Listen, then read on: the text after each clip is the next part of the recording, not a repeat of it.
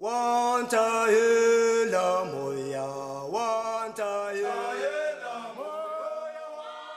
previous part attempted to answer why hundreds of thousands of Zimbabweans fled their home soon after the beginning of the 21st century. Most of these people, desperate people, headed southward into South Africa, the land of Mandela. Here they hoped to find food, shelter, jobs. What did they find? They found a country where 25% of all job seekers couldn't find work. Millions of others had given up looking. Hardest hit were younger work seekers, those between the ages of 15 and 34. Their jobless rate, the government reported in 2014, had risen close to 40%. Most of them had never held a job. Spain and Greece have reached similarly high unemployment rates, but South Africa's extraordinary rate has been persistent, not the result of a burst housing bubble or a debt repayment crisis.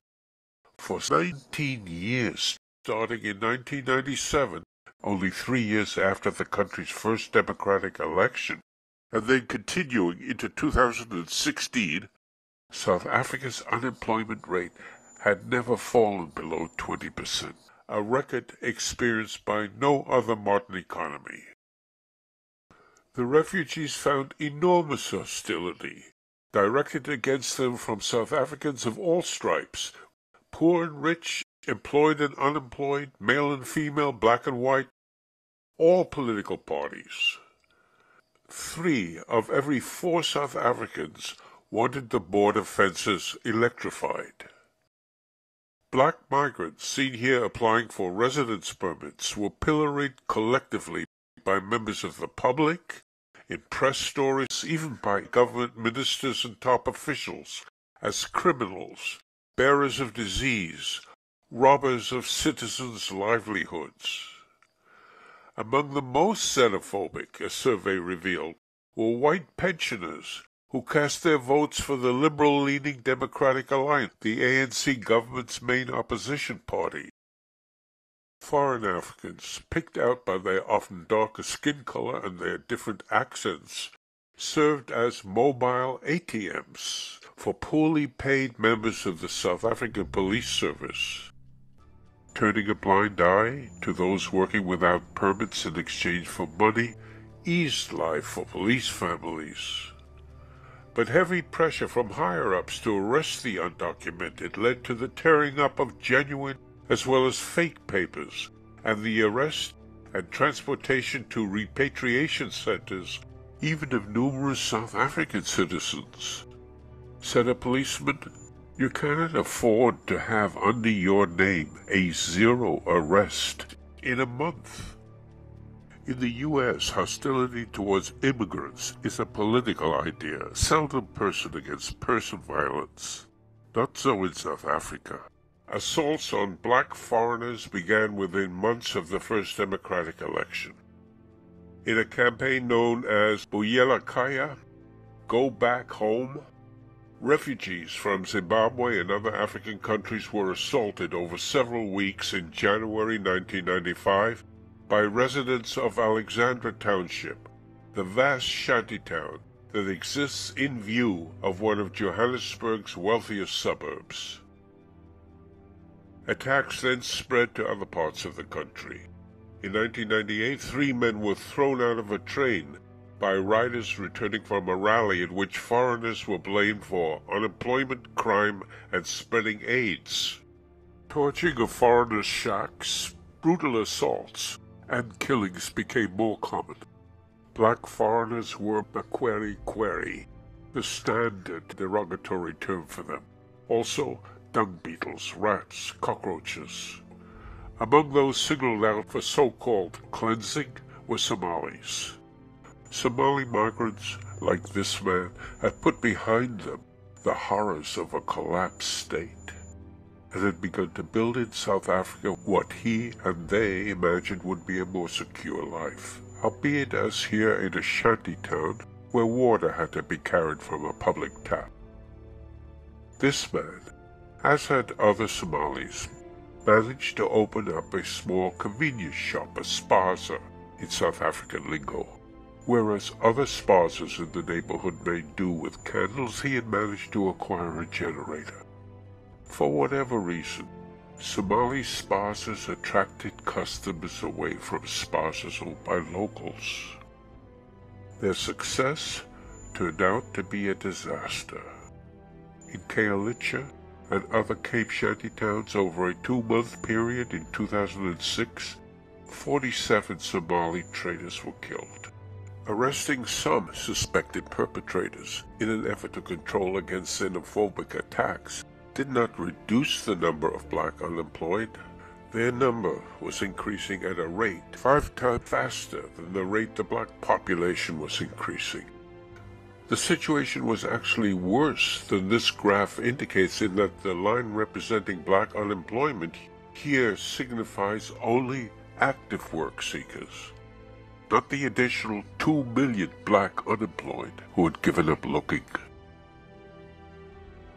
Late in 2012, the South African Traffic Police announced the force was taking applications for 90 trainee job openings.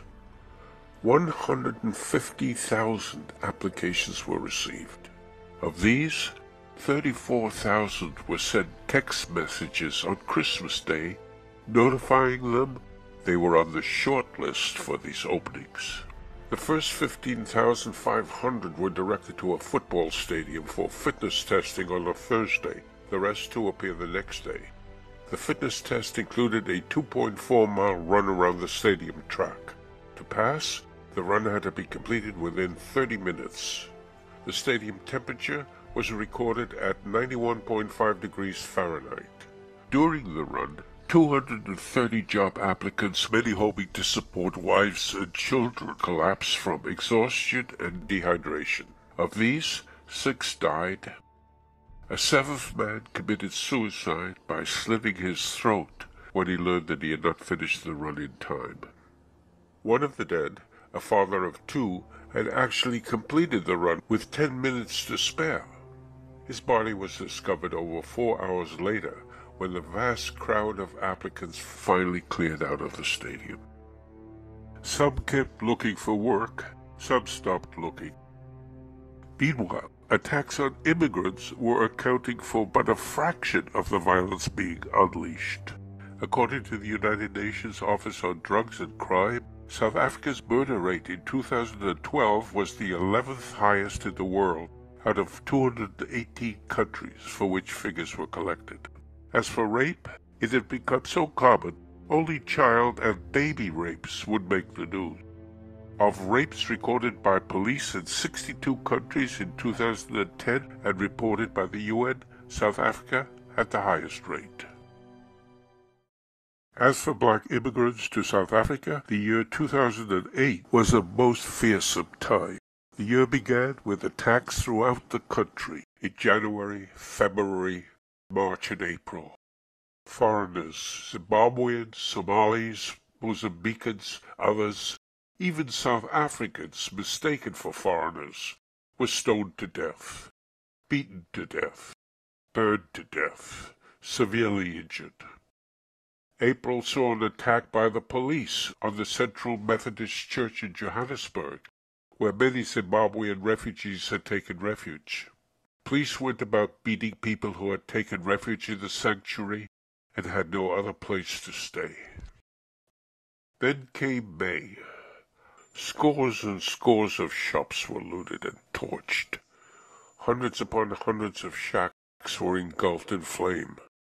Gauteng province, the center of mining, manufacturing, commerce, and finance, and unemployment, of all South Africa's nine provinces recorded the most fatalities, 62. 21 of them South Africans, many of whom happened to speak languages often spoken across the borders of neighboring countries. Hundreds were injured. Those displaced by the violence were estimated between 80,000 and 200,000. Among the dead was the husband of this woman. He had left Mozambique hoping to earn enough to replace her reed hut with a cement structure. Instead, this happened to him. The world paid attention, briefly. May 11, 2008 was a day of multiple killing in the Alexandra Township near central Johannesburg. For ten days thereafter, violence radiated nationwide. President Thabo Mbeki remained invisible. He visited none of the affected areas, spoke to no victims. He was attempting to lead a country with the biggest HIV epidemic in the world, depression-level unemployment, and one of the world's highest rates of violent crime. His political opponents were pressing to oust him from office before the end of his term. They had already removed him from their party leadership. He was due to fly off to Tanzania for a meeting with twelve African heads of state, doubtless expecting to be asked why his citizens were killing their citizens. After more than a week of mayhem, he ordered the army into the shanty towns to restore order.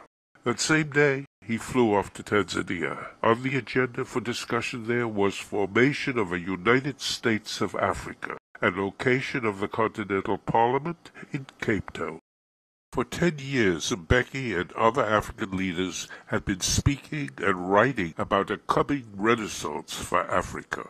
In times past, he declared, there were places in Africa where conditions of peace, stability, prosperity, and intellectual creativity had existed. These conditions would be restored. Africa, like Japan following the Meiji Restoration, would completely transform itself, and Africa would achieve unity.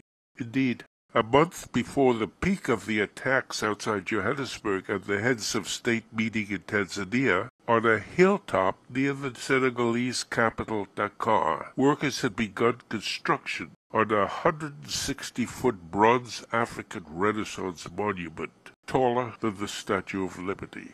It was a dream, a dream helping the leaders manage the stresses stemming from seemingly insuperable difficulties. It also helped them buy time. They could point to a better life that was coming. Returning home in a televised broadcast, Mbeki for the first time addressed the nation about the violence against immigrants. He condemned the attacks, reminding his countrymen of the help African countries and persons had given to the liberation struggle. He attributed the attacks not to xenophobia, nor to the desperation fueling the xenophobia, but to, quote, criminal elements. He didn't want to name problems his government had been unable to solve. Three days later, he flew off to Japan to attend a conference which had as its title, Towards a Vibrant Africa, a Continent of Hope and Opportunity. It was his fourteenth foreign trip in five months, after a decade of wrestling unsuccessfully with democratic South Africa's most serious problems, democratic South Africa's second president appears to have concluded that further struggles would be wasted effort. Let us see why such pessimism may have been warranted. After the white conquest was completed at the end of the nineteenth century, about the time diamonds and gold were discovered and an industrial society began to take shape, unemployment was non-existent. Labor shortage was the problem in the minds of white farmers, mine owners, and industrialists. They solved this problem by requiring rural Africans who were unfamiliar with money to pay a tax in money or go to prison. To escape incarceration, African peasants had to reach recruiting stations and be signed up, they discovered, on long-term contract for work hundreds of miles from their homes and families. Those who worked the mines slept in all-male hostels. Their pay was insufficient to pay the cost of travel and housing nearby for families. Children grew up without fathers present. Husbands slept far from wives. But how the conquered were used was taken up in part three of this series. What needs explanation here to repeat is the transition from labor shortage to persistent mass unemployment. One factor at play here was the extraordinary increase in the black population during the century following their conquest, estimated at 3.5 million in 1904, 35 million in 2001, a tenfold increase during the 20th century, in contrast to a fourfold increase in the U.S. population during the same time. A reduction in the black population's death rate drove this great increase.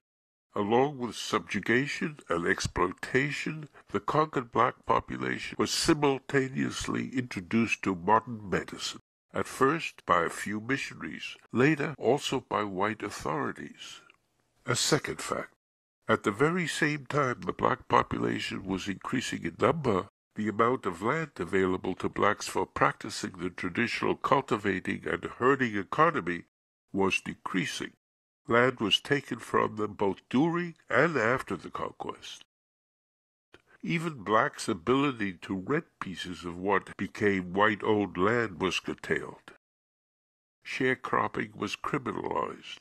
Black families who held title to pieces of land, so-called black spots, in areas designated for whites only, were expelled to what already were overcrowded reserves.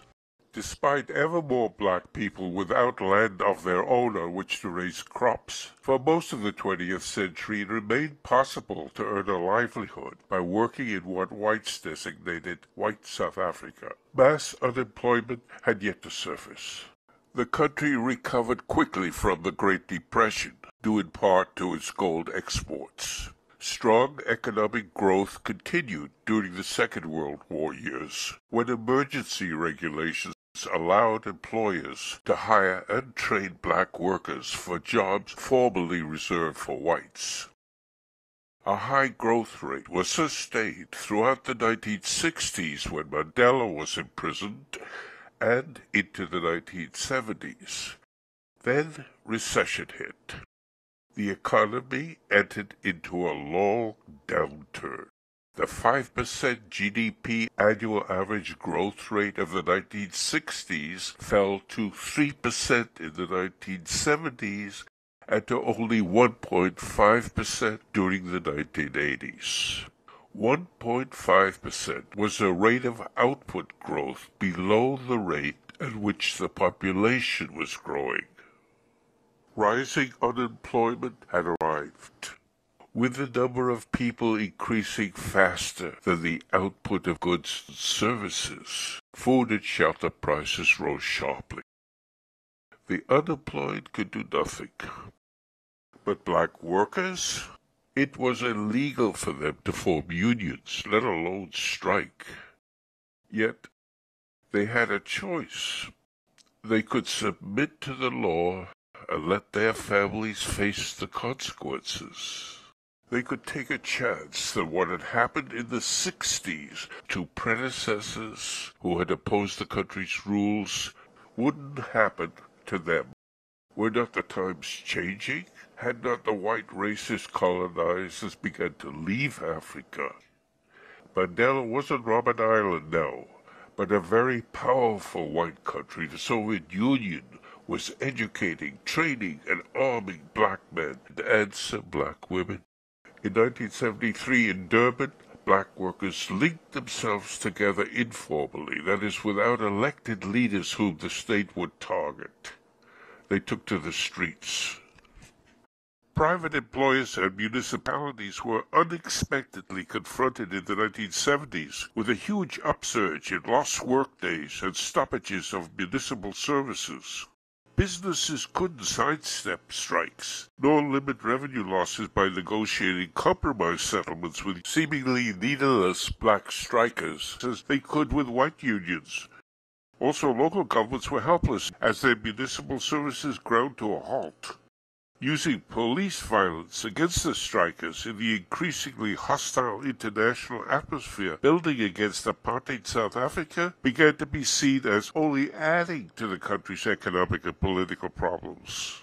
Hoping to retain a measure of control, the government in 1979 decided reluctantly to recognize African unions and bring them into the National Employer-Employee Bargaining Council setup, which determined wages and working conditions. African unions and their right to strike were recognized. African Union membership increased by leaps and bounds from about half a million in 1980 to five times that number ten years later. Despite the moderating influence of bargaining councils, workdays lost to work stoppages increased from 175,000 in 1980 to 5.8 million in 1987. Union militancy between 1985 and 1990 contributed to a 29% average rise of real wages for black manufacturing workers. Overall wage increases outside agriculture rose by 11% during 1985 alone, and this annual rate of increase accelerated to 17% in 1990. All this during the remaining years of white rule. These gains, of course, helped the black workers, but for most of the fast-growing numbers of black work seekers entering the labor market during the final decades of apartheid and into the first decades of democratic South Africa, the situation was radically different. There were no jobs, no pay envelopes, after majority rule was established in 1994, conditions continued to improve for unionized black workers and worsened for the work seekers. Black unions now had a direct voice in shaping labor law. It became more difficult for employers to fire unneeded workers. Dismissed workers could now appeal to a commission for conciliation, mediation, and arbitration. Contesting an appeal typically required a week of a manager's time.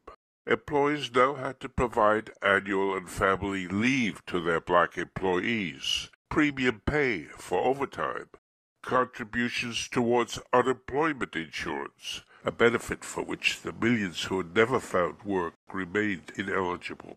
Also, a statutory minimum wage was established for each industry, including commercial farms. These enactments drove up employers' costs, causing both urban manufacturers and commercial farmers to replace workers by machines as swiftly as they could get financing for it, thus adding to the number of the country's work seekers standing idle. Studies in the U.S. have shown that a minimum wage increase can be accompanied by more, not fewer work opportunities. Not in South Africa, though, with its huge army of unemployed. There, establishment of a minimum wage aimed at relieving some of the hardship of the poorest black working families has added to the number and the desperation of the unemployed. A striking example of this and of the clash of interests at the heart of the country's job crisis comes from its textiles and clothing industry. Let's take a look at this to bring newly democratic South Africa back into the world trading system after apartheid-era sanctions. Import tariffs, including tariffs on clothing imports, were lowered by the Mandela government. The resulting flood of cheap imports put domestic manufacturers out of business.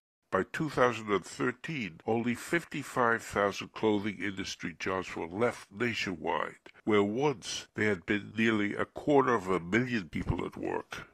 Clusters of small factories, more than a hundred of them around the town of Newcastle, KwaZulu-Natal, had survived East Asian imports. They did this by paying their workers rock-bottom wages, in 2010, for instance, the equivalent of 36 US dollars a week, well below the $57 statutory minimum established by the industry's bargaining council. Many of the factory owners were Chinese immigrants who had settled in the country in the 1980s. Hardly wealthy themselves, some employer families lived in a single room in their factory building. Scrimping on their workers' amenities was also not uncommon, including failing to provide enough toilets or soap and toilet paper. Some, to guard against fabric theft, strip-searched their workers, making women having periods take off their sanitary pads. because of non-compliance with minimum wage law and human rights violations, certain factories were closed after joint crackdowns by police and representatives of the Department of Labor, the National Bargaining Council, and the South African Clothing and Textile Workers Union. Legality was enforced, human rights abuses were suppressed, and thousands more of the most poorly paid of workers whose pay envelopes in many cases had also been supporting unemployed members of their extended families suddenly found themselves without those meager pay envelopes. This in Newcastle, a community already experiencing 60% unemployment to preserve minimum wage workers' pay, as well as the jobs of below minimum wage workers. Cape Town University scholars Jeremy Seekings and Nicoli Nattrass have proposed not eliminating the minimum wage requirement, but limiting its protection to its current beneficiaries. Employers would then be left free to offer new job applicants the lowest pay that would still enable them to staff their workforce. No existing worker would wind up with a wage cut, and no current worker paid less than the minimum wage would lose their job.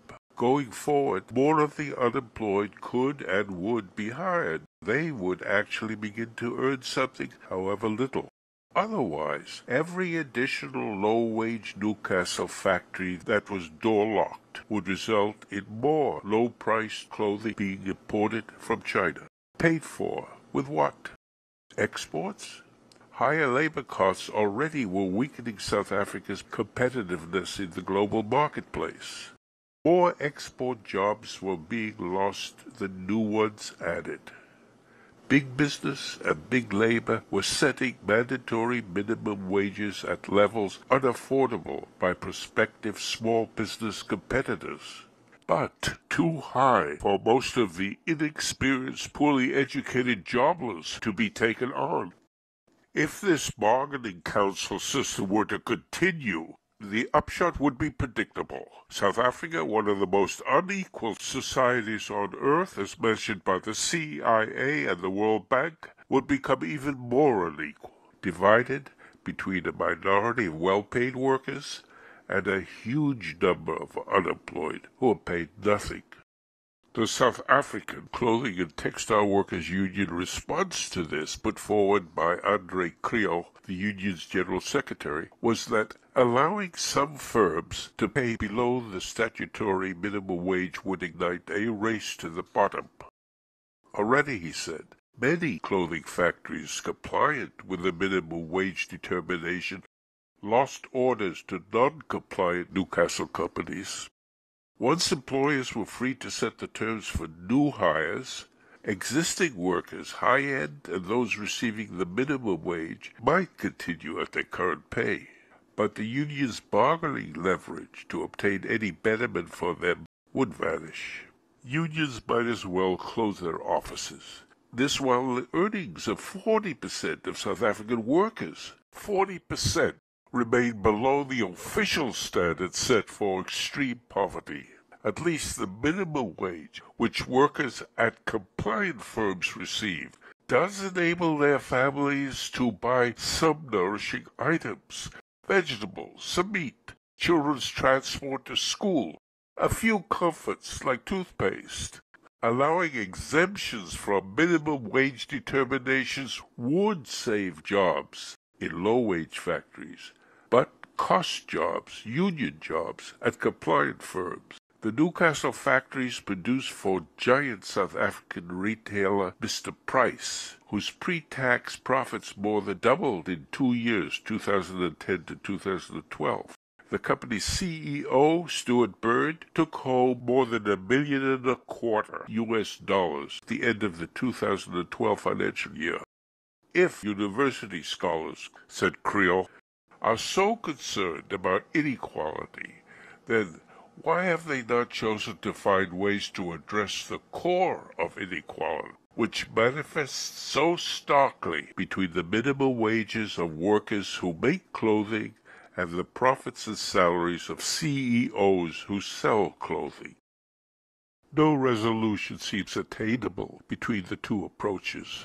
That of scholars advancing the needs of the unemployed by restoring in part the cheap labor system of the apartheid past, and of union leaders protecting the hard-won gains of black workers. This doesn't mean that the government has not decided on which way to go. Ibrahim Patel Andre Kriel's predecessor as General Secretary of the South African Clothing and Textile Workers Union, dismissed the immigrant-owned clothing factories in Newcastle and elsewhere as fly-by-night sweatshops that had no place in the new South Africa. They were, in his eyes, a hangover, reminding South Africans of the exploitative apartheid past. Subsequently, Patel left the Union to become South Africa's Minister of Economic Development. Not only is the prospect of South Africa overcoming 25% and higher unemployment beyond bleak as a result of employers moving to sidestep the higher labor costs resulting from worker militancy by investing in equipment in preference to new hires, there's another factor making the prospects of the unemployed even bleaker, if that's possible. This is affirmative action, a black economic empowerment, described in detail in a previous program. Like black worker militancy, these policies too sought to rectify the racial discrimination of apartheid. The background to post-1994 affirmative action bears a brief retelling as a reminder that this policy post-1994 was new only in the color of the group being advantaged. Recall that the labor shortage white employers experienced at the start of South Africa's industrialization was solved by requiring rural Africans who had never used money to pay a tax in money to be obtained by signing on to a long-term labor contract for work far from home or be imprisoned. Thereafter, white workers learned to save their own energy by teaching their uneducated black laborers to carry out an expanding range of industrial tasks that they themselves, white workers, were paid to perform. White employers noticed, wondered why they were paying whites top wages when they could get work done at much lower costs by employing blacks instead. The impetus for them to actually do this came following a sharp economic downturn in 1921. To save on costs, white workers were dismissed, black workers hired in their stead.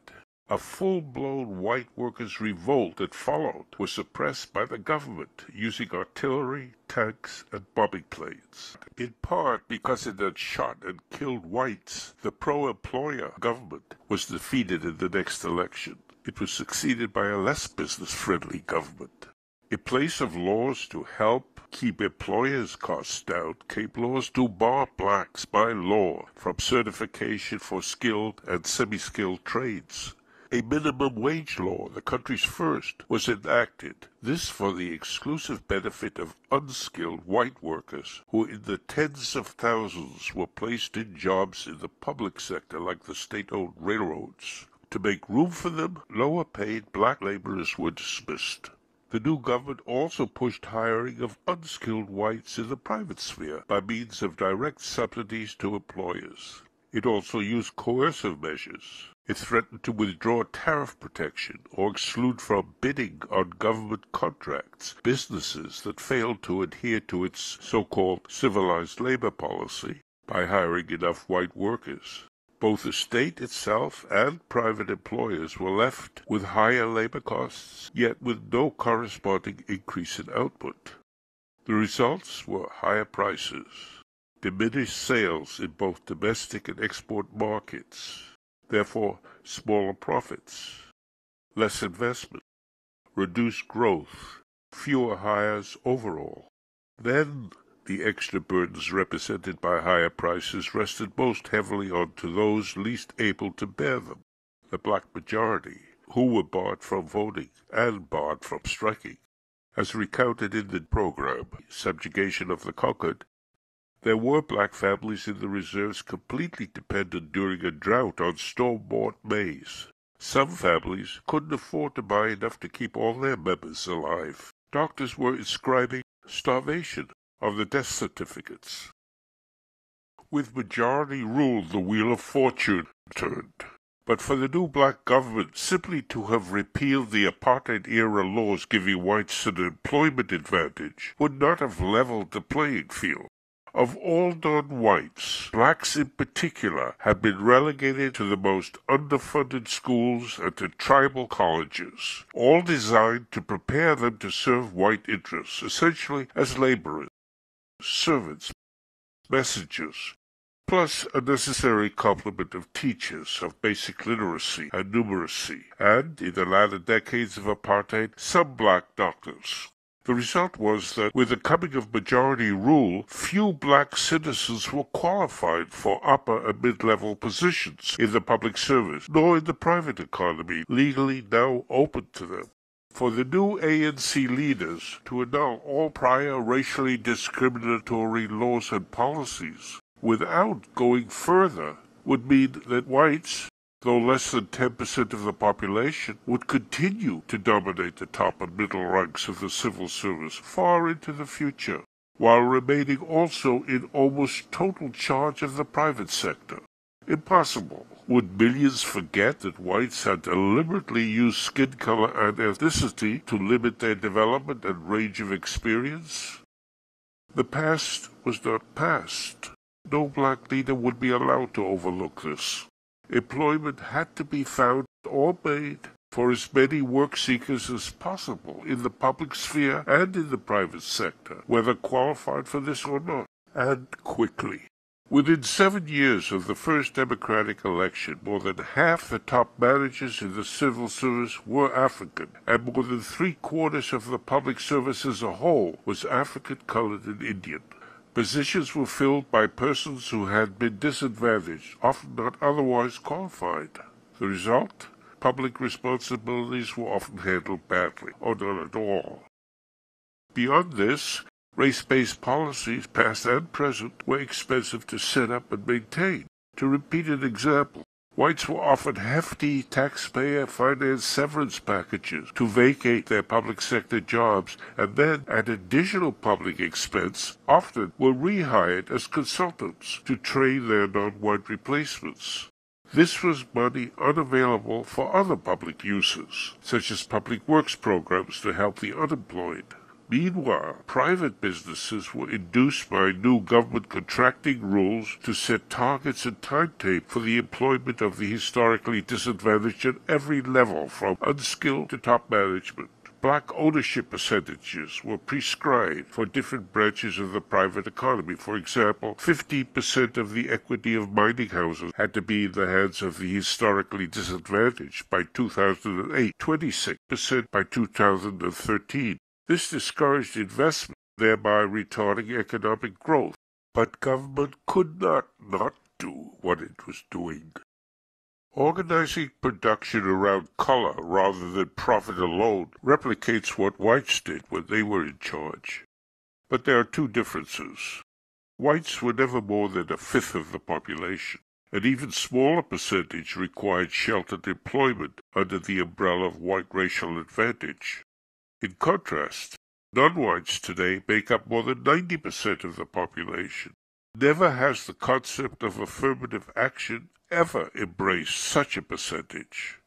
In 1994, in compensation for decades of exploitation and repression, there were 35 million non-whites out of a population of 40 million expecting quick uplift from their government far too many for anywhere near all to have a chance of receiving it. A second difference is that the actions taken by former white governments to create employment for some whites didn't produce harsher conditions for other whites. The added expense to society from having to pay whites more for their work than non-whites, without a corresponding rise in output, naturally depressed economic growth so that there were fewer hires and costlier goods, including higher food prices. But white leaders of the time were fortunate in that millions of non-whites were present then to bear the pain. No longer is there a subordinate racial population. Yet affirmative action and black economic empowerment ensures that a structured by color, higher cost, less productive economy remains in place, as during the decades of segregation and apartheid, with the painful consequences falling, as before, on millions of black citizens too numerous to be reached by affirmative action. No black leaders wanted this. Did they have the option to move more slowly? No way. They were trapped. When democracy began in South Africa in 1994, its new leaders as ordinary humans probably imagined that its problems would be overcome, though they could not fail to be impressed by their magnitude. Unemployment of black citizens was rising above the level experienced by the United States at the height of the Great Depression. Would there be anywhere near enough money to do all that had to be done? The takeover negotiations obliged them to pay off the vast apartheid-era debt, much of it money borrowed by their predecessors for the weaponry and personnel they used to try to kill and imprison them. But this was but one item of immediate expense. How long, if at all, could they, members of a black-led government, continue paying white teachers and nurses more than black teachers and nurses, white policemen more than black policemen, white railway workers more than black railway workers, men more than women, throughout all the occupations in the public service. Yet what they spent on equalizing the racially differentiated pay schedules in the public service would put not one jobless man or woman into employment and there was much more needing immediate attention and money. But from where would the money come? To boost top marginal income tax rates by more than a small amount would only have spurred more white emigration, thereby costing the country the investment generations had made in developing the emigrants' skills, also losing those much needed skills. It would make no sense. Yet to demand a negligible contribution from whites despite the material advantages white citizens had obtained from apartheid and still enjoyed, while requiring millions of black citizens to wait indefinitely for their promised better life, seemed also impossible. Then how to cope with a surge of expectations bursting through the dam wall of collapsed white rule? Nelson Mandela's principal policy manager, subsequently his successor as president, Thabo Mbeki, while in exile, had seen free spending by other African leaders to relieve the distress of their country's poor, cause inflation, unsustainable borrowing, resulting in control of government policy falling into the hands of foreign and multinational banks, ending with the leader's ouster. He had seen this happen to Kenneth Kaunda of Zambia. To avert a similar fate, he soon began to apply a brake on spending only to arouse fierce opposition. To counteract threats to his leadership, he saw no choice but to energize his supporters, who might otherwise have become rivals. The method, ironically in view of the new shift towards austerity, was five billion dollars of expenditure on weapon systems, ships, jets, tanks.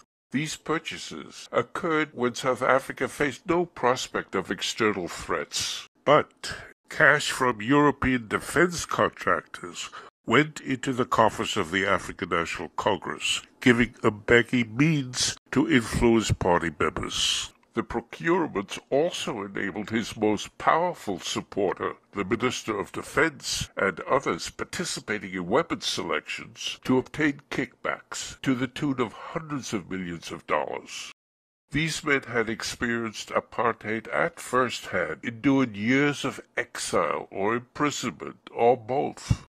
After helping to overturn what in their sight was a corrupt and evil system, they had restarted civilian life with no personal assets other than government paychecks, knowing that apartheid's most affluent beneficiaries had not only kept their accumulated holdings, but were managing them towards even greater wealth and influence These were the white persons with whom they had to deal. A start had to be and was made in improving the lives of many of the poor. Tens of thousands of tin shanties were replaced by cheaply built subsidized houses. The first kiloliters of water was provided free, plus free kilowatts of electricity, sufficient for lighting. Money was put into pensions and grants for the old and disabled, and for mothers and foster mothers. Access to health services and educational opportunity was widened. But military spending between 2000 and 2008 exceeded expenditures for low-cost housing.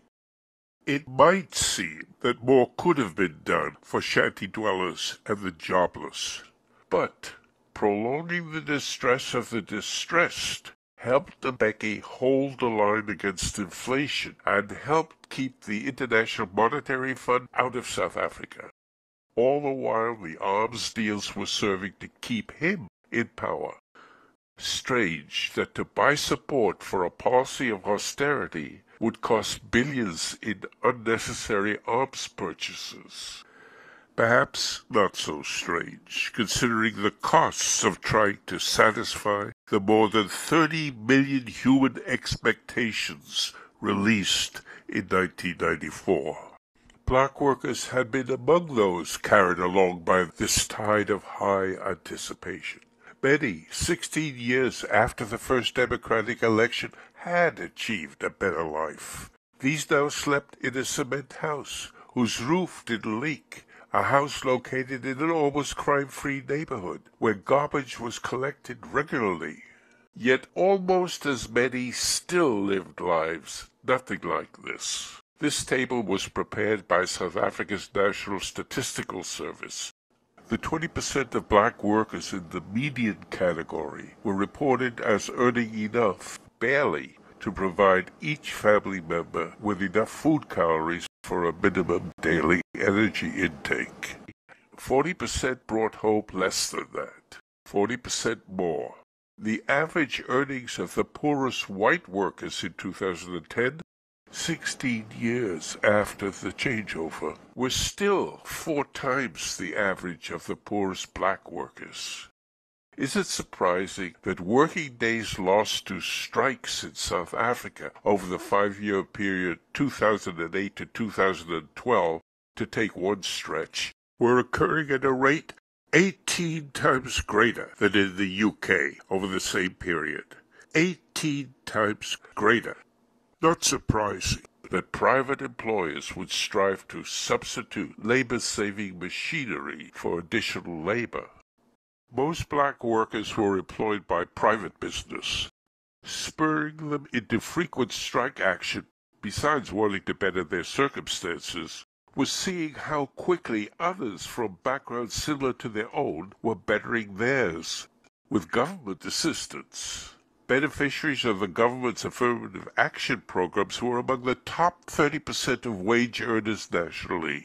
Whether private sector workers knew this statistic they knew the benefit of public sector jobs. Their employers seemed so much more resistant to their wage demands than government ministers were to the wage demands of public employees. Wage increases in the public sector weren't given with the minister's own money. No surprise to them when newspapers reported public sector wages rising at an average annual growth rate more than 6% above inflation. Black worker militancy and the higher wages this achieved relative to the workers of its trading competitors is key to South Africa's declining ability to export and the fall in export-linked jobs. But black worker militancy is first an effect, only then a cause. Black workers are not living in a society where, as often elsewhere, change is slow and imperceptible. They inhabit a country where great changes are occurring in plain sight. Domestic servants, workers' relatives, clean the homes of the new black middle and upper classes, and those of their white employers. Workers learn of new luxury stores opening up in cities like Luminance in Johannesburg, where a pair of infant socks by Baby Dior goes for $175, and an Alexander McQueen honeycomb jacket is priced at 58,200 rand, about $7,275 owner, Khanyi Dhlomo, they learn, launched the venture with 35 million rands worth of public finance granted from South Africa's National Empowerment Fund. They see press reports that the numbers of millionaires and multimillionaires in South Africa, blacks as well as whites, is increasing rapidly, more than doubling during the decade after 2004 and growing at a rate among the fastest in the world. Therefore, what chance could there be that black workers would exercise the wage restraint urged on them by the more educated and better off? A five-month strike in 2014 by more than 70,000 miners at the world's biggest platinum mines cost the producers more than two billion dollars in sales, and the workers nearly one billion in lost wages before it ended. The stoppage cut government revenue and curbed economic growth, causing Moody's Investor Service to downgrade the country's credit rating to the second lowest investment grade. This resulted in the need for higher interest payments on government borrowing, leaving less at hand to meet other needs. The three former mainstays of the country's economy, mining, agriculture, and manufacturing, are not only not adding employees from the ranks of the jobless, their workforces in each case are getting smaller. Manufacturing is reported to be in terminal decline. Even one of manufacturing's few remaining success stories, the automobile industry, which boosted vehicle exports threefold between 2000 and 2010, this was accomplished with several thousand fewer assembly line workers. So far, these job losses in the private sector have been counteracted by government adding to the public workforce. In the U.S., the number of government employees between 2005 and 2009 increased by 2%.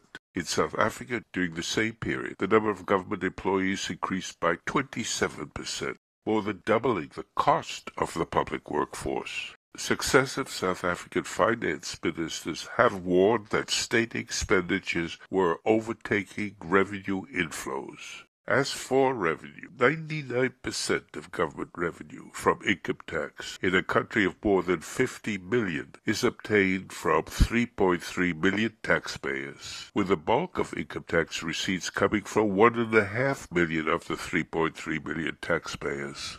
South Africa's misfortune is that its government's success in improving conditions for countless of its black citizens, and swiftly, by the only programs able to accomplish this, affirmative action, black economic empowerment, and new labor laws, has simultaneously been making the problem of its unemployed millions insoluble. This was never the government's intention. It has appointed planning commission after planning commission, each charged to chart a way to a future where there would be work for all. Yet no commission's planned unemployment reduction target was met. Worse, unemployment kept increasing. This graph, prepared by the International Labour Organization, reflects South African government unemployment statistics from 1994 to 2015, projected on to 2019. The line for unemployment would be even higher if the estimated 10 to 15 percent of the jobless who had given up looking for work had been included. The latest effort to plan a solution is the 484-page National Development Plan, launched in 2012. This was developed by a 26-person National Planning Commission of experts, headed by South Africa's long-serving former Finance Minister Trevor Manuel and his deputy Cyril Ramaphosa, former Labour leader, principal ANC representative in the negotiations ending apartheid, multi-millionaire businessman, and since 2014 the country's deputy president. The plan's three main goals were to reduce poverty, inequality, and unemployment sharply. the proportion of households living on less than $2 a day per person would fall from 39% to zero by 2030. By that year, too, income inequality in South Africa would be much reduced. 11 million additional jobs would have been created. Unemployment would fall from 25% in 2011 to 20% in 2015, 40% in 2020, and 6% by 2030. The Planning Commission did not gloss over how critical the problem of youth unemployment was for the country's stability. Among black youth ages 15 to 29, the unemployment rate was 65%. Youths who failed to get jobs by the age of 24 were unlikely ever to get formal employment. Employment rates for young people, the Commission reported, were actually declining, while the number of youths in the cities was growing rapidly. There were currently three million young people not in employment, nor in school, nor in training. Homicides, generally committed by males between the ages of 16 and 30, were occurring at a rate more than six times greater than in the U.S. Homicides of women by intimate partners was occurring at a rate six times the global average. One in fourteen newly created jobs was for a security guard. The tension gripping the country is reflected also in the violent attacks and killings of African immigrants, which have continued since the May 2008 slaying of 68 foreign nationals said to be taking business or jobs away from locals. In 2013, the year after the National Development Plan was launched, 240 black immigrants were murdered in South Africa. Desperation was not only seizing hold of shantytown youth, but was spreading even among the minority of the young who had achieved a high school diploma. They and their families believed that without a college degree, they were almost as likely to join the unemployed as were school dropouts. Here, high school graduates wisely are climbing over a fence to escape the crush of would-be applicants for a few remaining entry slots to a South African public university. This stampede left one mother dead, others critically injured. Meanwhile, thousands of college graduates themselves were reported by Adcorp, the country's largest temporary staffing firm, as unemployed. The Planning Commission couldn't help tossing from one horn of the country's unemployment dilemma to the other. On the one hand, recognizing that the worker-friendly and employer-costly new labor laws discouraged hiring of the unemployed, the planners also recognized that these laws protected existing workers, 60% of whom still lived, quote, near or below the poverty line. If minimum wages were not mandated, and if employers were permitted to dismiss unsatisfactory or unnecessary workers at will without having to undergo a difficult and costly legal procedure in each case, yes, employers then might be open to taking on more new work seekers but only at the cost of undermining current workers' job security and their unions' chances thereafter of successfully negotiating wage hikes. No solution to this dilemma was discernible. What to do? Failing to prioritize the interests of organized workers over the needs of work seekers would bring down immediate pain on the government. On the other hand, concerted trouble from the fragmented, unorganized, and leaderless unemployed would take more time to materialize. So, while deploring South Africa's, quote, uncompetitive labor markets, unquote, for keeping new entrants out, the National Planning Commission has declared their full support for the bargaining council system, the very mechanism chiefly responsible for the uncompetitive labor market that kept new entrants out. Mandatory minimum wages would continue to be set at bargaining councils by big business and big labor at levels that smaller business competitors couldn't afford to pay, and also that priced out most new work seekers. Another sign that South Africa is locked into its current trajectory is that despite constant evidence that the country's foundering educational system was not preparing young blacks for employment, among the problems, too many teachers arrive late for or miss classes, or once in class spend too much time on cell phones and too little time teaching, the Planning Commission, so as not to antagonize the quarter million member South African Democratic Teachers Union, omitted from the final version of the National Development Plan their initial recommendation that teacher indiscipline be punished and criminal behavior prosecuted. With private sector job losses mounting and so many livelihoods on a knife edge, even a seemingly small gesture by the planning commissioners to bring out of the cold a limited number of the unemployed made the unions fearful that businesses would seize this as a wedge to begin demolishing workers' gains. The plan was that government should offer a reduction in tax owed by employers who hired young people. The government took this up in the form of the Employment Tax Incentive Act of 2014. Young hires previously unemployed would have to be paid at least 2,000 rand, about $200 monthly. Employers couldn't cheat. If they replaced existing workers by any new subsidized workers to take advantage of the tax incentive, they would find themselves disqualified.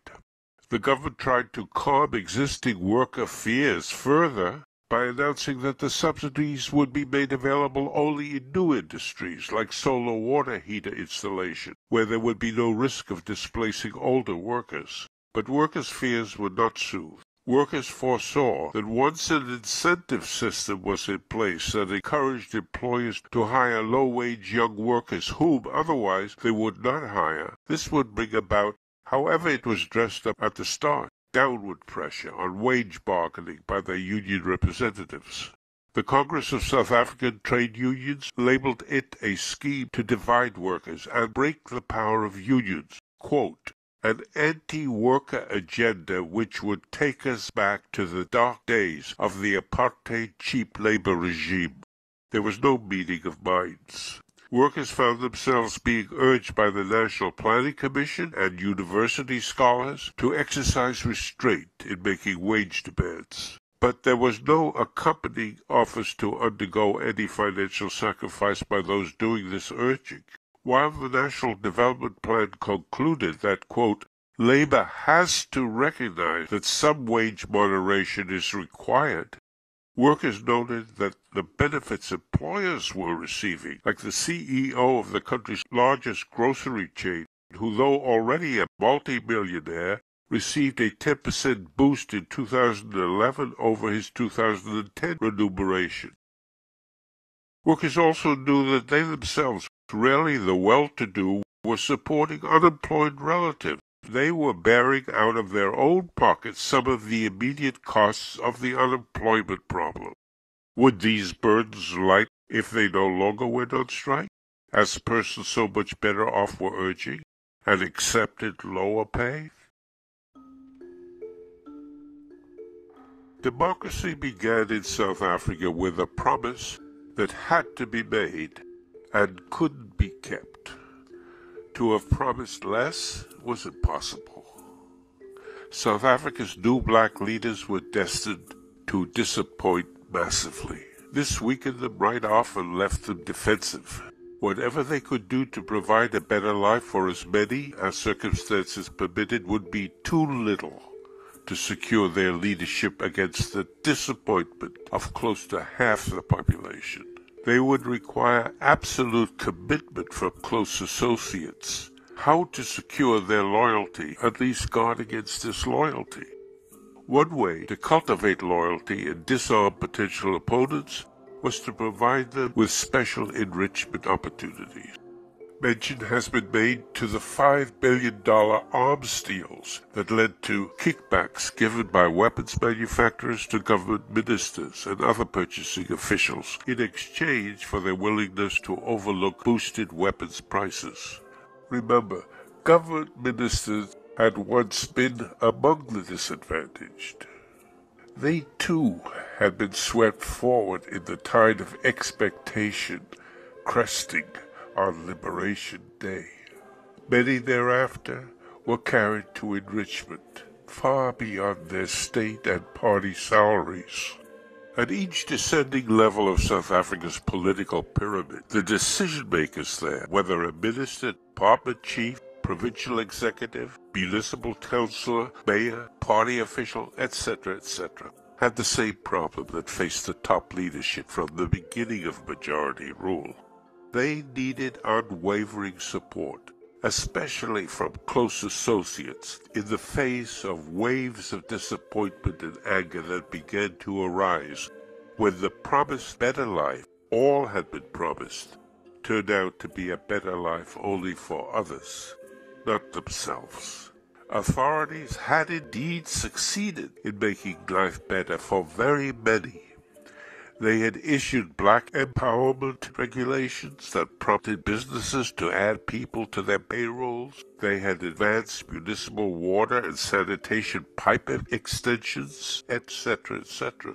More than 4 million of more than 40 million black citizens were considered middle class by 2013, based on indices like home and car ownership, college education, private health insurance, internet usage, etc many among 20 million others, including some who earn just enough to rent a little house with indoor plumbing on a street not wrecked with overflowing outhouse waste, remembered how government action had helped them.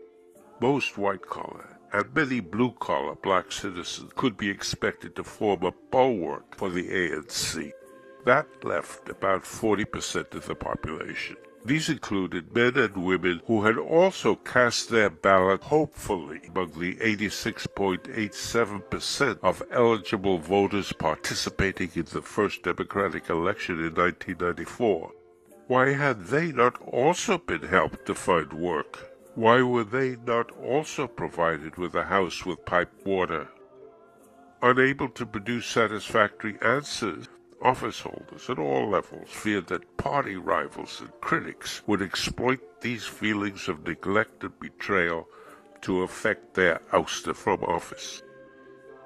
Diverting some funds designed for public purposes into private pockets at least made it possible to build up a ring of obligated and compromised supporters. Nowhere is there a shortage of people willing to make their families as well off as other families when they have the opportunity, see others doing the same, and the risk is slight. The irony is that as more money is skimmed from poverty relief and unemployment countermeasures in South Africa, the result has been to create further distrust, heightening the need for defensive corruption. Only seven of the country's 237 municipalities were able to account for their expenditures upon audit in 2010. The year following, only three of 39 government departments were pronounced clean in audits by South Africa's Auditors General. In 2013, two and a half billion dollars of wasteful, irregular, and unauthorized expenditures just were made by national, provincial, and local government authorities. 79% of the budget of the impoverished Eastern Cape province over an eight-year period could not be accounted for. Throughout the country were thousands of ghost employees, drawing salaries or collecting pensions who didn't exist. But the main vehicle for public corruption was government purchasing from private vendors. The total amount paid out through these contracts accounted approximately for one-third of all public expenditures. Officials at all government levels, national to local, engaged in awarding contracts. Submarines were bought, public housing built, roads surfaced, sanitation buckets collected, school textbooks printed, and a million other objectives accomplished. On contract, opportunities for fraud were multiple. One was, in return for a kickback, to order items in a quantity far greater than the number that could be used, the supplier adjusting the unit price upward to cover the kickback, and more. The public paid for the kickbacks and the unneeded goods.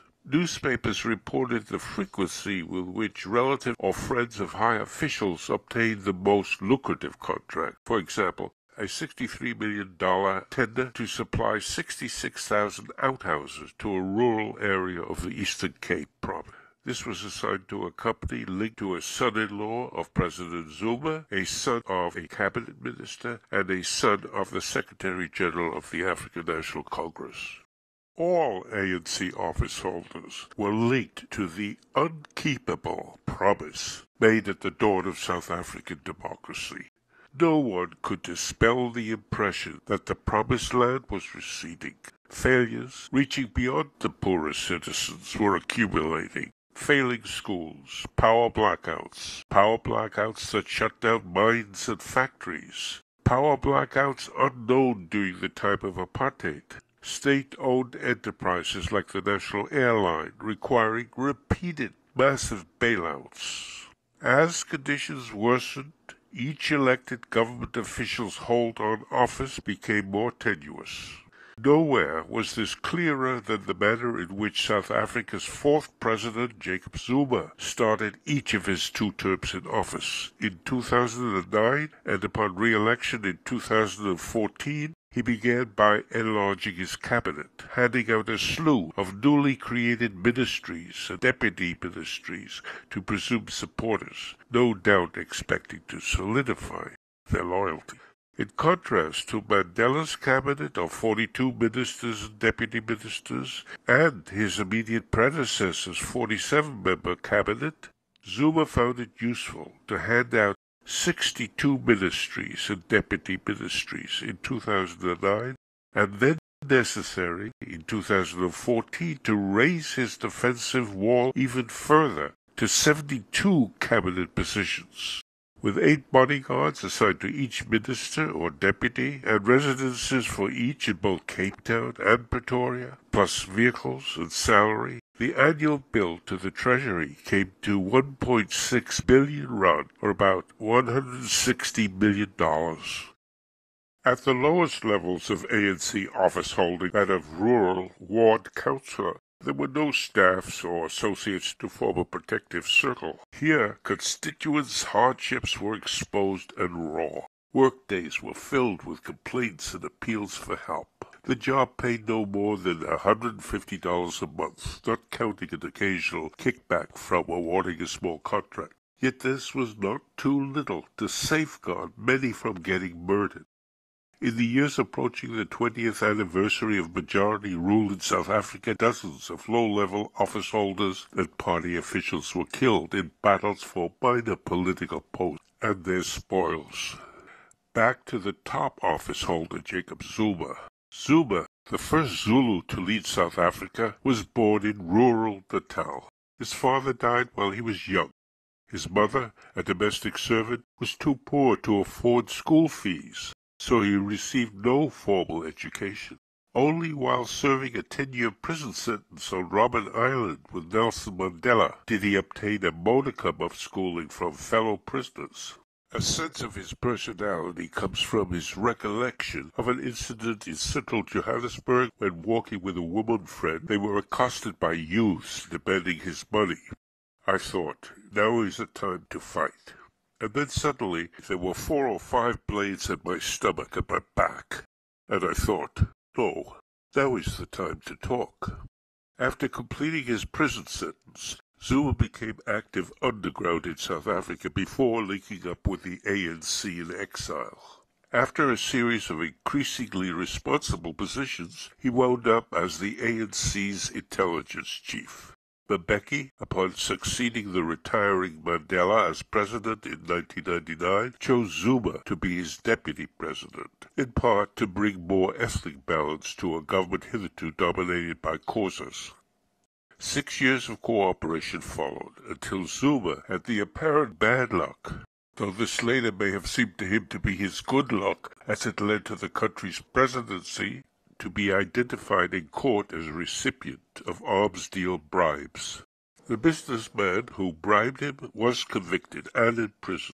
Zuma's trial and conviction was expected next. Mbeki, at the very center of the arms deals, though not engaging in personal enrichment, saw no choice but to dismiss Zuma and then work the court system to get the now aggrieved, potentially vengeful Zuma locked away. But Zuma's lawyers succeeded in getting a judge to accept that there had been political interference in the handling of the charges. This kept their client from being tried, and so helped to relaunch his luck. The government had also charged him separately with raping the daughter of a late ANC friend of his, a woman he knew to be HIV positive. Zuma claimed the sex was consensual and that afterwards, as a precaution, he had showered.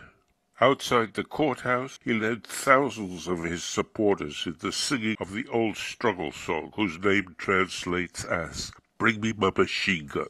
In the ensuing atmosphere of menace, the white trial judge issued a controversial verdict of acquittal. Among his most vociferous of supporters at the trial was Julius Malema, a 25-year-old firebrand, soon to become leader of the ANC Youth League, which 50 years earlier Mandela had led.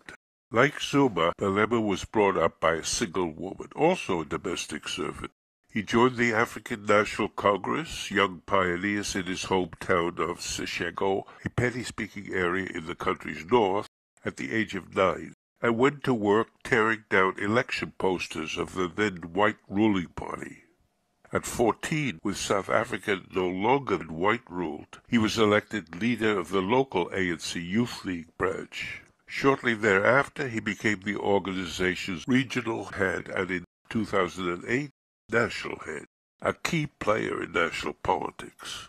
In the meantime, his skill in forging a close bond with the premier of his home province, enabling businesses to obtain lucrative contracts from the provincial government, brought rivers of cash flowing into a personal trust he had set up, which translated into mansions in several cities, a farm, multiple luxury automobiles, a $20,000 Breitling watch, fashionable clothes, etc. His growing wealth in no way diverted him from giving voice powerful with conviction to a politics to the far left of the South African Communist Party, let alone left of the ANC government itself. Malema's central point then and since is not that the ANC failed to carry out the promise it made at the time of the first democratic election in 1994, the promise of a better life for all. It is that three years before that election, during negotiations between the ANC and the white nationalist government which led to majority rule, ANC leaders present, including Mandela, had so compromised with representatives of the whites as to nullify in advance the prospect of a better life for all. The revolution was betrayed then Malema proclaims. Its betrayed goals had been set in 1955 at the Kliptown meeting of the Congress of the People, held in the teeth of the apartheid state and its police. Here, a freedom charter was adopted. After coming to power, the ANC had a monument constructed dedicated to the Freedom Charter, where its pledges were carved into polished granite slabs. Years before, a prisoner in an apartheid prison painted the charter onto his cell wall from a copy he had hidden in his pocket. All betrayed. Malema asks, Where is the land as adopted by the Freedom Charter, the People's Congress? Where is the land?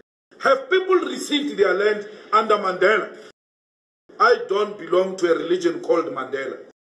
President Mandela is a human being like all of us. He's got his own shortcomings. Those who led the ANC during negotiations have compromised a lot and sold out the revolution. I don't want to single an individual out. It was a collective leadership. At venue after venue, Malema demanded nationalization of the banks, the mine, and seizure of white-owned land without compensation. We are not going to give whites money when we take the land back, because it will be like we are thanking them with money for killing our people. We must take the land back without payment. He painted the Mbeki government, which had fired Zuma and hounded him in the courts, as a protector of white privilege. He campaigned vehemently for Mbeki to be replaced by Zuma, vowing to eliminate any force blocking Zuma's path to the presidency. We will crush you. It doesn't matter who you are, even if you are in the ANC. On his part, Zuma, with a sharp axe to grind against those who had dismissed him from office, was only too happy to accept Malema's support and to adopt the language of the left. Trade unionists and communists thus believed Zuma more amenable to their interests than the aloof and increasingly unpopular Mbeki, with his conservative economic views and emphasis on fiscal discipline. Deserted by former supporters and attacked as a sellout by Malema, Mbeki was removed as ANC leader at a party conference in 2007. The following year he was pressured by the other party chiefs to resign as South Africa's president before his term was up. Zuma, back from eluding a trial for bribery and a conviction for rape, was elected president in 2009. Zuma did not turn out as those who helped put him in office, particularly Malema, expected. Zuma seems to have concluded early on that the country's main problems, unemployment and violent crime, were insoluble.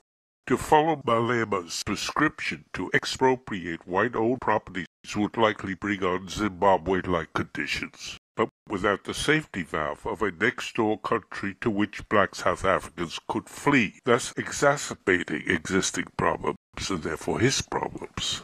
Despite low growth and climbing unemployment, most blacks who actually still voted had not ceased to vote for the party he led.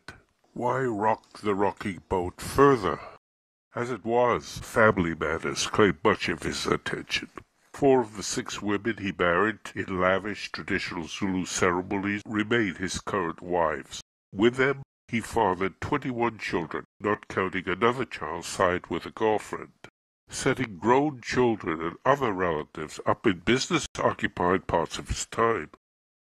He also gave thought to the problem of accommodating a growing household in what initially had been a simple hut at Nkandla, his birthplace. Every South African president, white and black, have had security upgrades installed and erected at their private residences. Security upgrades at the private residences of P.W. Botha, and F.W. de Klerk had cost taxpayers $16,000 and $22,000 respectively at 2013 price equivalents. Zuma's Nkandla upgrades, including altering the architect's initial proposal for a fire hole into a swimming pool and adding tennis courts, an amphitheater, a chicken run, cattle kraal, visitor center, and other accoutrements, all costing the public $25 million, more than 20 times the cost of security upgrades for President Mbeki's residence. Malema soon began to doubt that the radical economic transformation he had expected from Zuma would happen. Why, he demanded, were the three key economics ministries in Zuma's cabinet, finance, economic development, and trade and industry, given to minorities? That is, to Indian and white South Africans at their head, and not to blacks. Persistent growing unemployment proved that capitalism had failed. Then, shouldn't the imperialists be made aware that nationalization of the mines and other means of production, as called for in the Freedom Charter, was coming? Was it for nothing that he had dispatched his followers ahead of the 2009 election to campaign enthusiastically for Zuma in poverty-stricken townships where government ministers feared to tread? But was there any sign of a readiness now to fulfill the Freedom Charter? Malema led his followers at rallies in singing the struggle song whose title translates as Shoot the Boer. The ANC ordered him not to sing it. He continued to sing it.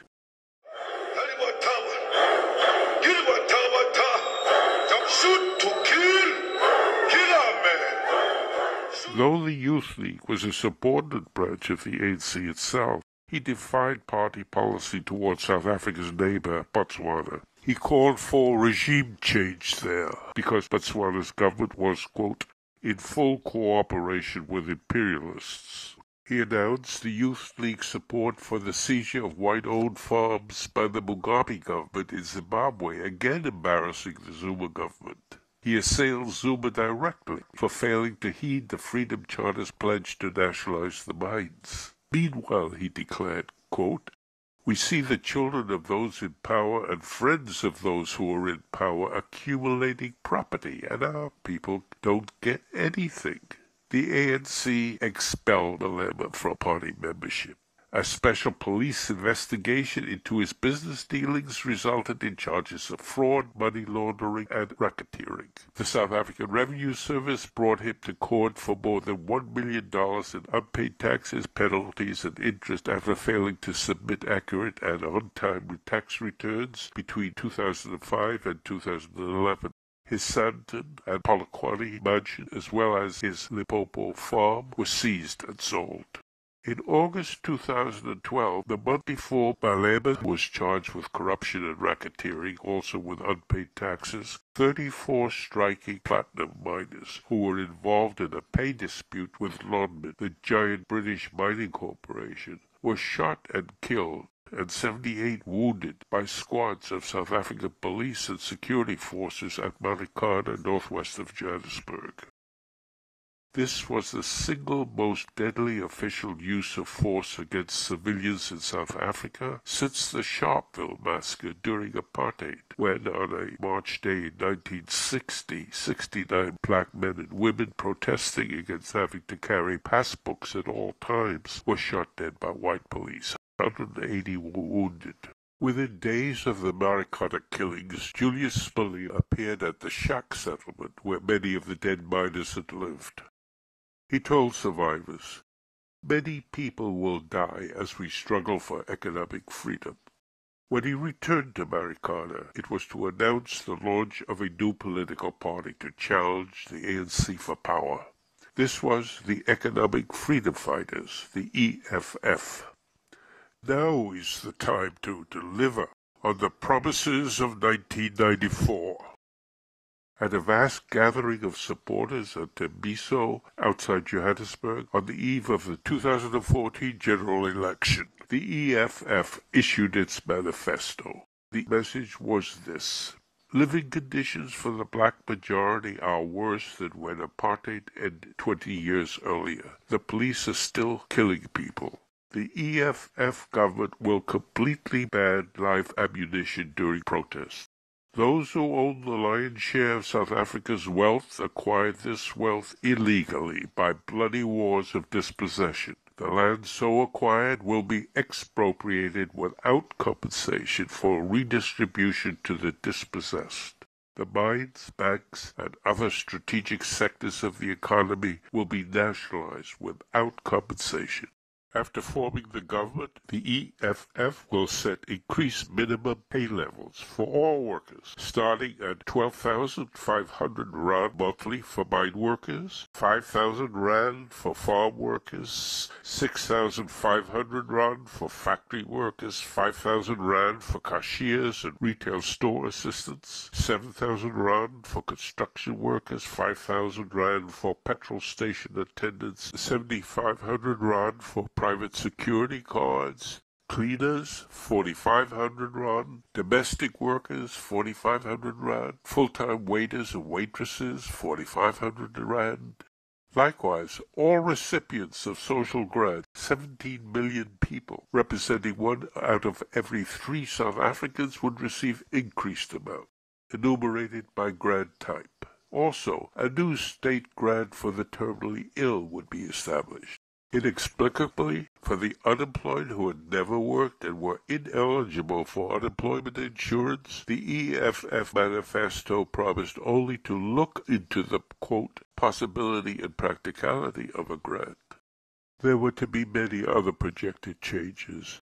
Annual scholarships for 15,000 students to study at, quote, the best universities across the world, unquote, a subsidy for electricity generation so that in three years the bill for each household would be half of what it was currently, and more. To pay for the changes, revenue would be doubled from 1 trillion to 2 trillion rand by means of higher corporate and company taxes and customs duties. Government corruption and incompetence, currently costing the public more than 30 billion rand per year, would be brought to an end. Quote, the EFF government will ensure that no minister has bodyguards. They don't need any bodyguards because no one knows them. So why must they have bodyguards if no one knows them? The EFF government will remove all presidential spousal support. This a reference to the more than $10 million taxpayers had to pay for the upkeep of President Zuma's polygamous household of four wives. After only six months between the EFF's launch and Election Day 2014, more than a million South Africans cast ballots for the new party, as against the ANC's 11 million plus and the 4 million plus for the Democratic Alliance, the party representing chiefly the interests of the three minorities whites, Asians, coloreds.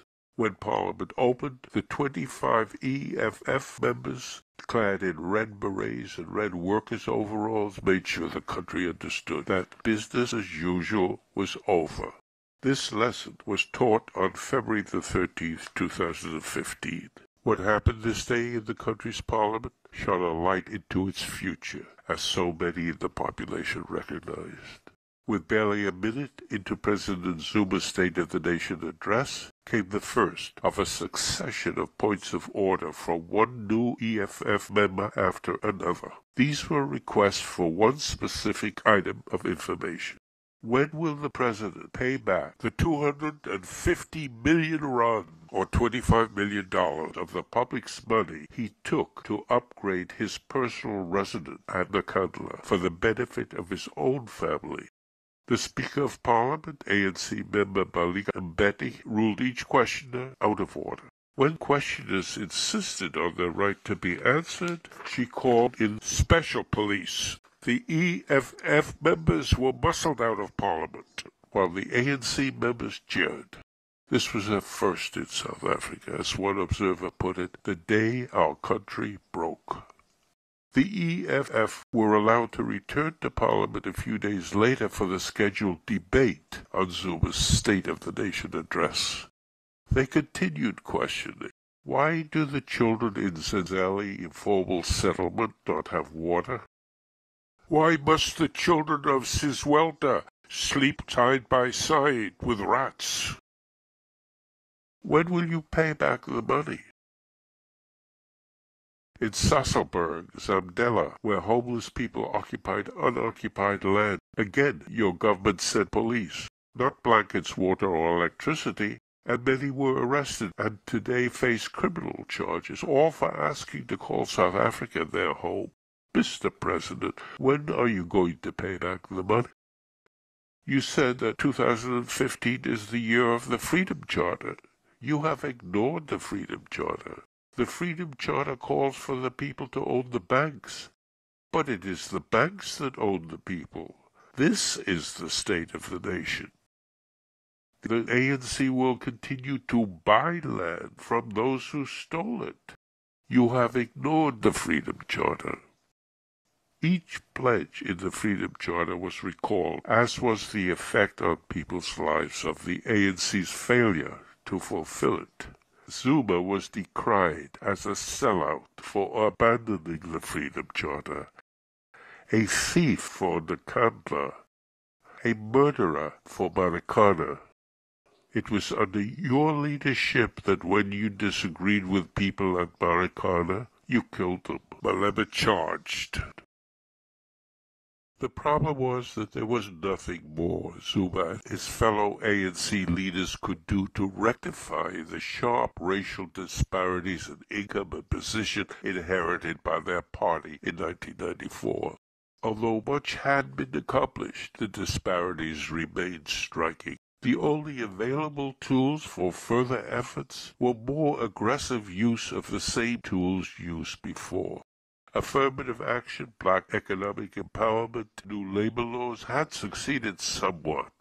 But blacks, 80% of the population, still suffered the highest crime rates, the poorest schools, the lowest incomes.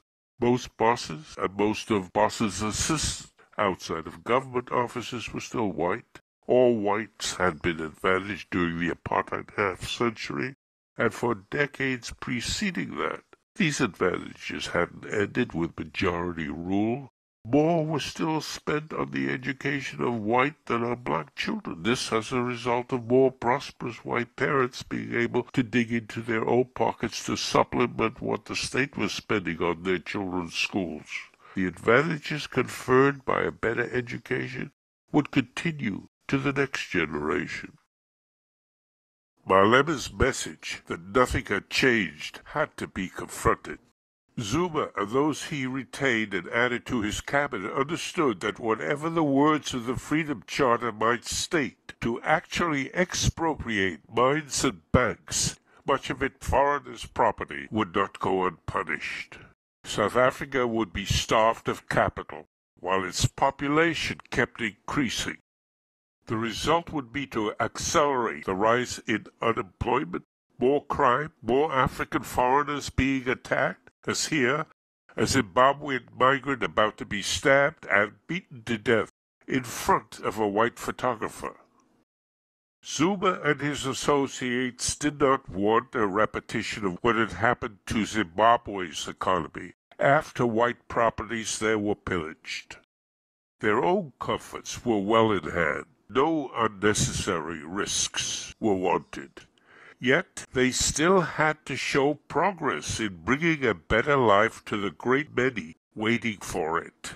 Amending the Employment Equity Act, the main affirmative action law, to enable it to be more aggressively implemented was one of a number of steps taken to demonstrate that the ANC remained in active pursuit of a better life for all despite Malema's vilification.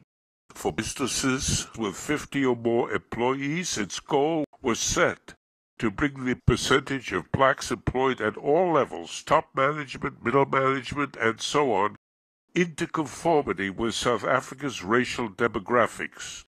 75% of the country's population was black, therefore companies had to demonstrate plans to move swiftly to where 75% of their top managers, their middle managers, their professionals, etc., would be black. Failure to attain targets would bring down heavier and heavier fines. A fifth transgression within three years could cost the business 10% of its annual revenue. Not long after Zuma's harassment at his State of the Nation address in 2015, the Department of Labor announced it would take more than 1,400 companies to court for failing to comply with affirmative action provisions. History had set South Africa in a strange place. Affirmative action had been used to help disadvantaged minorities in other countries, but never where the disadvantaged groups represented 90% of the population all people with personal and family memories of discrimination and dispossession. This trapped South Africa's government with an impossible choice. Either engineer the chance of a better life for people formerly held back for no reason than that they were not white, or hold back from promoting poorly educated and unqualified personnel into the economy's managerial positions because of the damage this would bring to the well-being of all. An effective education program might ease the dilemma. Yet many, many schools serving exclusively black students have yet to overcome their inherited disadvantages from poorly trained teachers to insufficient toilets.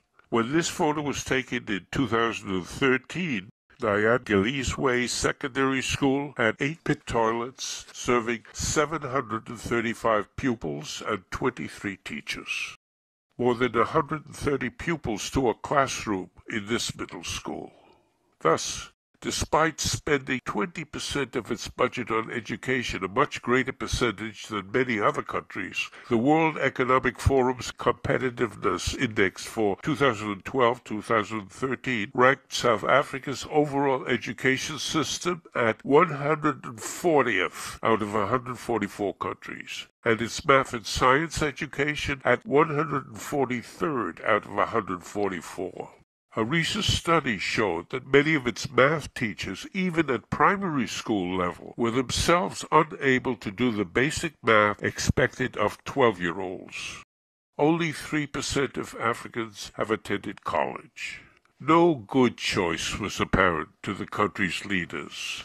The natural choice was to relieve their most immediate pressures, get historically disadvantaged, often therefore unqualified constituents into employment. The unwanted consequences would have to be faced, but later. The pressures operating were such that merit had to be subordinated to affirmative action in the assembly of some sports teams. A new rule issued by South Africa's cricket board required all provincial teams to field six players of color, of whom three had to be black African. Communication between government and governed seems breaking down. Violent flare-ups occurred throughout the country in the run-up to the 2014 general election. In one municipality, shops were looted and burned, schools and other government buildings set alight, town entry and exit roads barricaded, a demand to dissolve municipal government issued, in the words of a resident of another town with similar issues and a similar outbreak, we are going to cause chaos until justice is done. We are sick and tired of officials who can buy fleets of cars but can't give us proper service. Nelson Mandela's memorial service was held in South Africa's largest stadium to the shock of some 90 foreign dignitaries, including President Obama and former President G.W. Bush, who had flown to South Africa to attend. President Zuma was booed loudly, once as he entered the stadium and again when he rose to deliver the eulogy. This was a first, but not a last. In March 2014, Zuma was booed by football fans in a match between Brazil and South Africa the next month at an ANC party pre-election rally at a town in the north.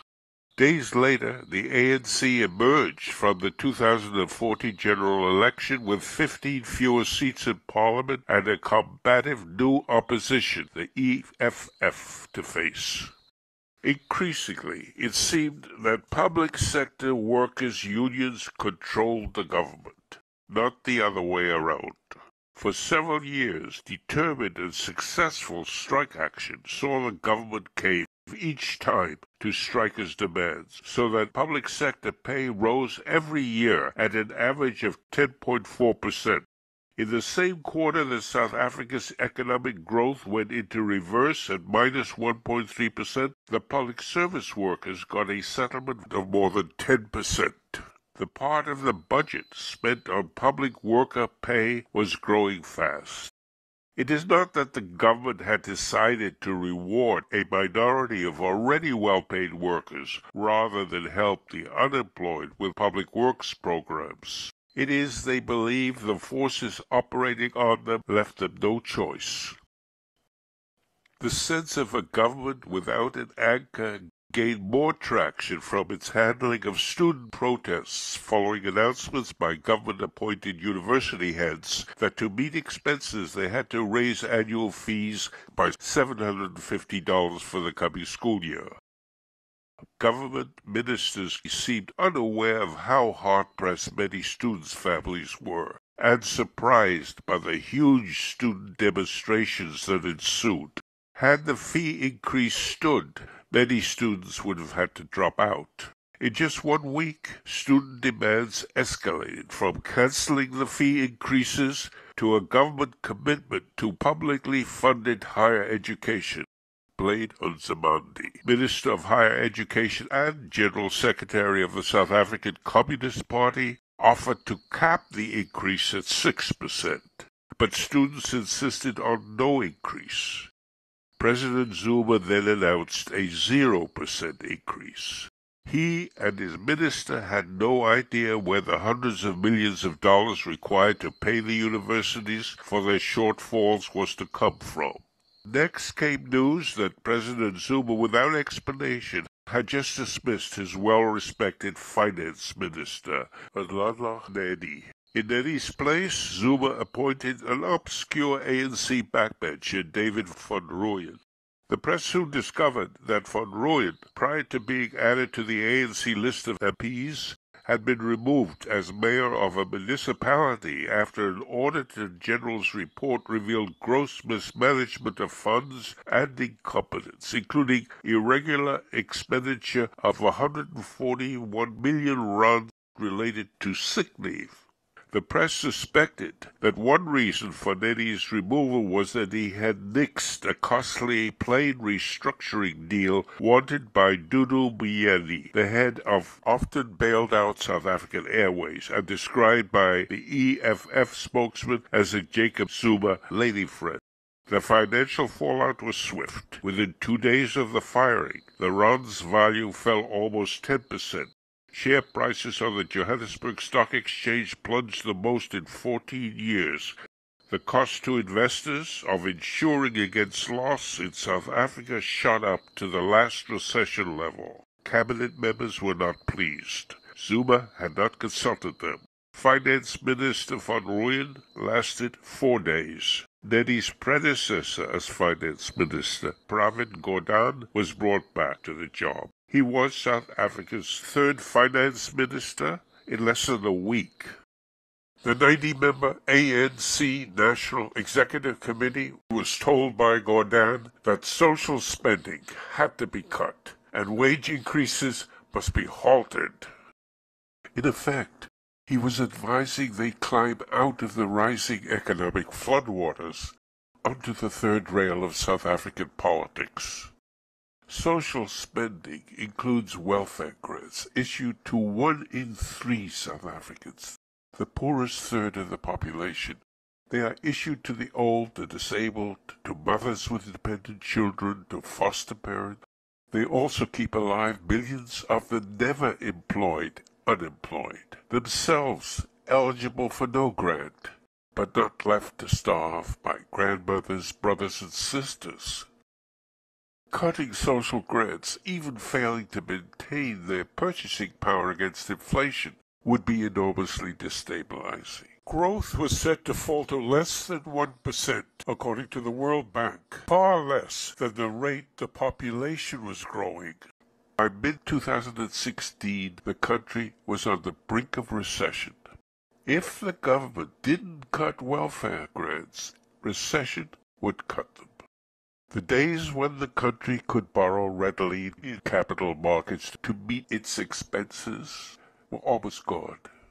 As 2015 drew to a close, two of the three major credit rating agencies downgraded South Africa's credit worthiness to one notch above junk. A junk bond rating would signal a higher risk of default on loans made both to the South African government and to South African businesses. Borrowing would require paying higher interest rates. This would translate into higher costs and higher prices for a population nearly half of which is living on less than $2 a day. Until 1994, 90% of the population was kept subordinate by the 10% with lighter skin color. The inescapable promise made by the new multiracial government which then came to power was to shepherd those 90% held back, exploited, and damaged to a better life. Its task was enormous. It is worth repeating that it was inconceivable for the new government to merely dismantle the racial barriers of the past. Equalizing teacher salaries alone would not correct for the fact that 90% of the country's students would continue to be taught by non-white teachers, most of whom had been educated to a deliberately inferior standard. Whites alone had been permitted to operate small businesses like gas stations and dry cleaners, even in the segregated black townships. There was no other way. To begin to compensate non-whites for the myriad ways in which their color had long been used to their disadvantage, than by making their color an advantage, and without delay. But this also brought with it two massive but unavoidable problems. First, it meant retaining the heavy drag on economic growth that operated during the decades of white domination, when businesses were coerced to employ more expensive whites over more productive blacks, and when the government sector did this without compulsion. The result had been an economy of higher costs, higher prices, and greater hardship. Then the main burden fell on the black majority exclusively. The reversal in color advantage from white to black after 1994 did lead to the reappearance of so-called poor whites. Former white governments had been able to eliminate the extreme poverty that had developed among close to half the white population at one time in large part because poor whites at their most numerous were fewer than 10% of the overall population, and in part because of the presence of a large politically subordinate population, on which the deleterious effect of the help given to the poor whites could be entirely shifted. The ANC government, taking over in 1994, faced a situation where, unlike its white predecessors, it could not ignore that between two-thirds of the entire population, including most of the non-white majority, were living in the throes of extreme poverty.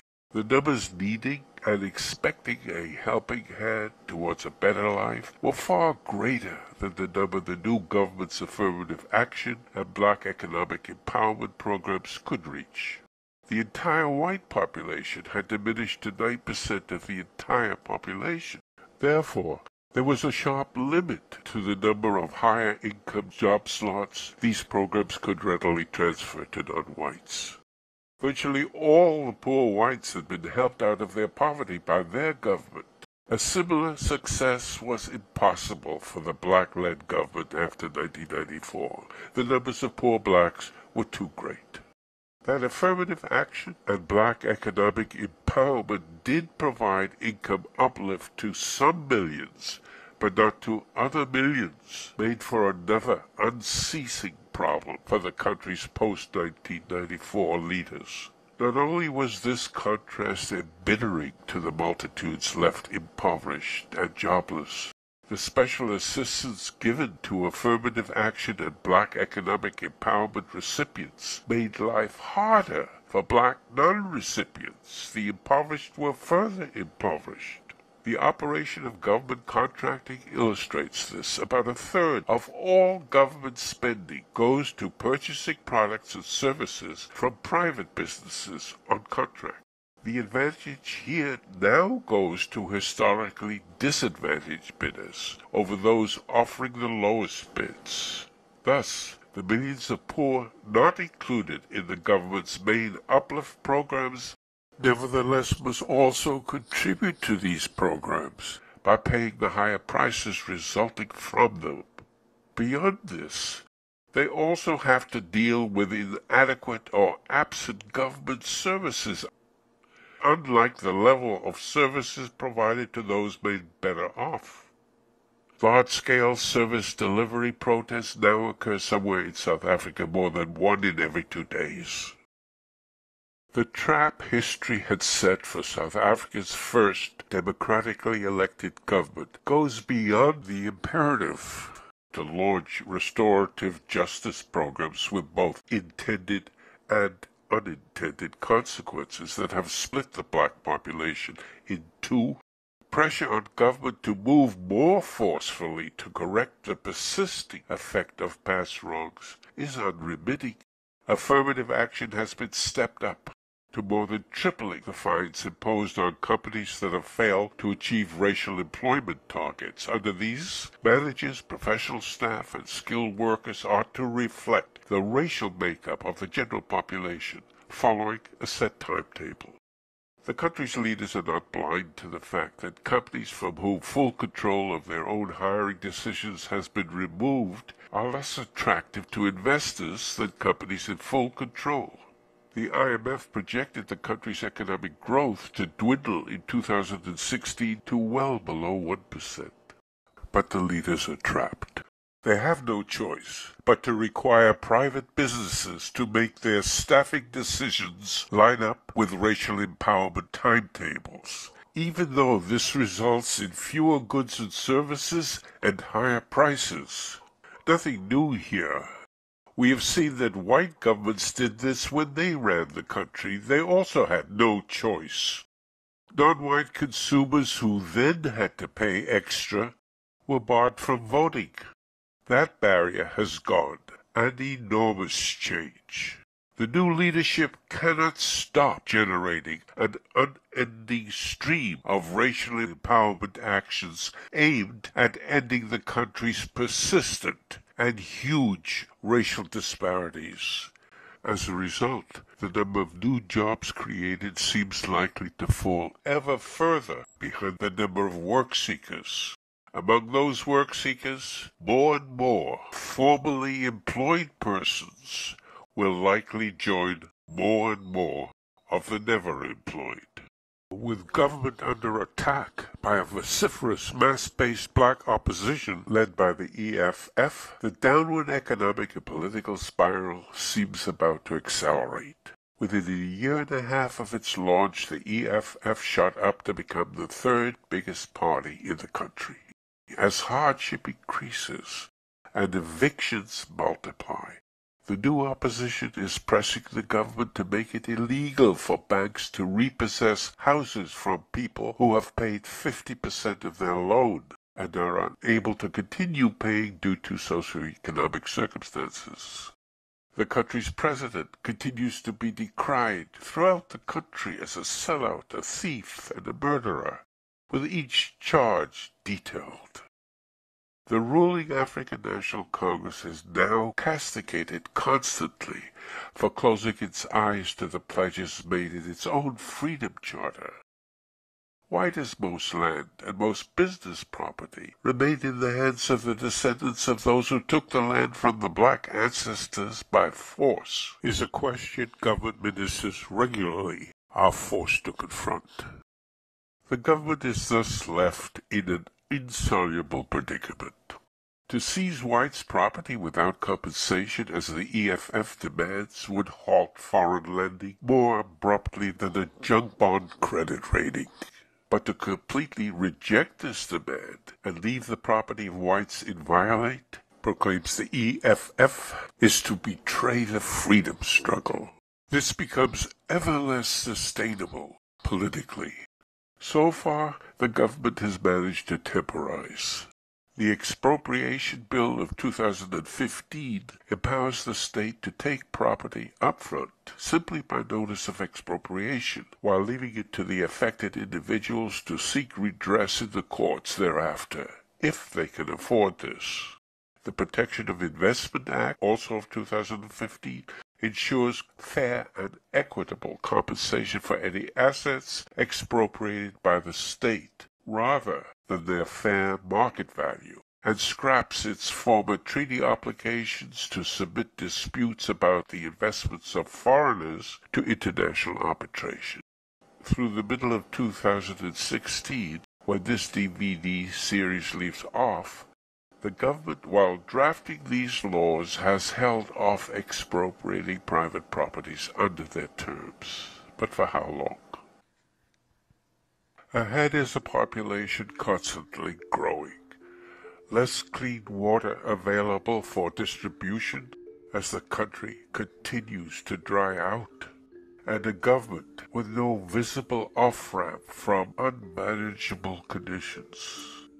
South Africa has many, many problems. Many of the more than one in three of its citizens who are looking for work or who have given up looking have HIV. South Africa has 70% of HIV-infected people in the world and near the world's highest rate of TB infections. It is suffering its worst drought in more than 80 years. China is buying less of its minerals but its most distinguishing and inescapable problem is its history. Nelson Mandela meant to bestow a healing balm on his countrymen when he added these unscripted words in Afrikaans to his inaugural address as the first president of a democratic South Africa. Laat ons die verlede vergeet. Wat verby is, verby. Let us forget the past. What's done is done. But the past is never past as South Africa illustrates most distinctively. Its present is simply the past's leading edge.